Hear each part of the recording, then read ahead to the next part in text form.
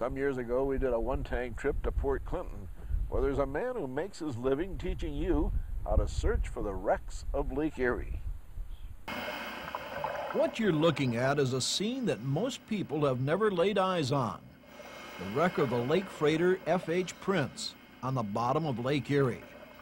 The ship went down in 1911 when it caught fire. Today, it's helping spur a new tourist business on Lake Erie, scuba diving. We joined Rod Althouse, Jeff Wilson, and Jack Pekar of Port Clinton, all scuba divers, for a look at the last resting place of the ship. No lives were lost when high winds drove it onto the submerged rocks near Kelleys Island on the evening of August 8, 1911. Althouse, who operates the New Wave Dive Shop and Scuba Diving School in Port Clinton, uses the wreck as a training site for his students and found the site almost immediately.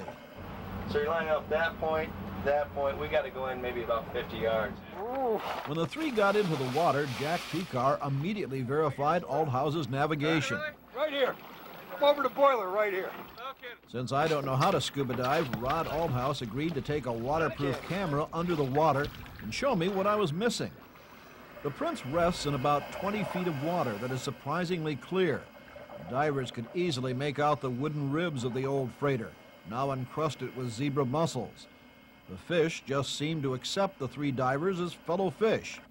There's a strange beauty to the lake bottom, the waves making the seagrass wave like wheat in a windy field. When Althouse took a break, I asked him how long it took to learn to dive. We're looking probably about 30 some hours of class at full time with the open water dives. And you can do it all right here. Yep.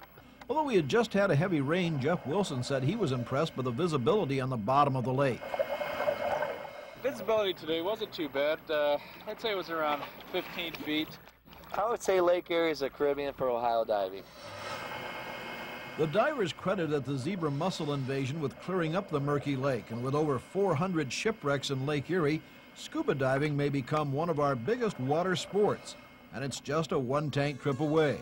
I'm Neil Zurcher, Ada's News on Lake Erie.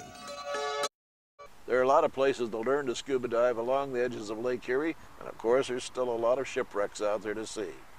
By the way, my new book, The Best of One Tank Trips, is now available in the bookstores. I'm Neil Zurcher.